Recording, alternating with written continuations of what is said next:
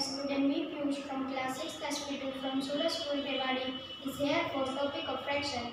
Fraction. A number representing a part of whole is called fraction. Fraction have six types. Improper fraction, mixed fraction, like fraction, unlike fraction, unit fraction and proper fraction. Proper fraction, the fraction in which the numerator is less than denominator is called proper fraction. Example 3 upon 5, 7 upon 11. Improper fraction, the fraction in which the numerator is bigger or equal than denominator is called improper fraction. Example 12 upon 5, 11 upon 6. Mixed fraction, the fraction Mixed fraction is the combination of whole number and a proper fraction. Example 3 is to 2 upon 4, 6 is to 7 upon 3. Like fraction. The fraction having same denominator is called like fraction. Example 2 upon 11, 3 upon 11 and 5 upon 11.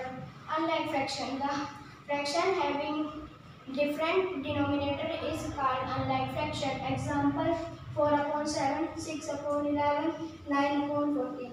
Unit fraction. The fraction having numerator 1 is called unit fraction. Example 1 upon 4, 1 upon 6, 1 upon 5. Thank you friends and have a nice day.